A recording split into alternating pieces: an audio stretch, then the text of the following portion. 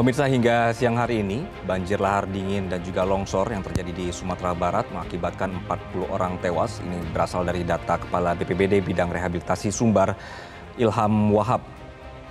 Dan kami akan kembali mengajak Anda untuk bergabung dengan rekan Amfrizer yang berada di Bukit Batabuah. Bukit Batabuah adalah salah satu desa yang paling parah terdampak pada saat kejadian. Amfrizer, selamat siang. Selamat siang, Anggi. Baik, um, Fraser, jadi untuk hari ini fokus pencarian atau fokus tim yang ada di lapangan itu apa?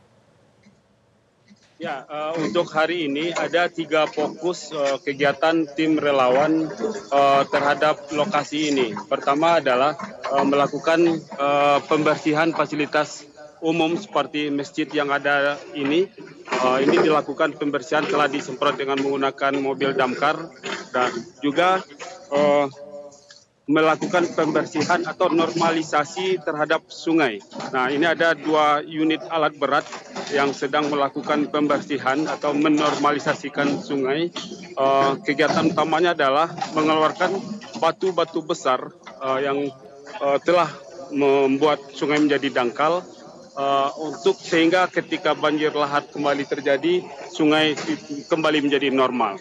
Dan kegiatan yang ketiga adalah uh, melakukan pencarian terhadap satu korban jiwa lain yang belum berhasil ditemukan atas nama Halimah Sadiah berusia uh, 30 tahun.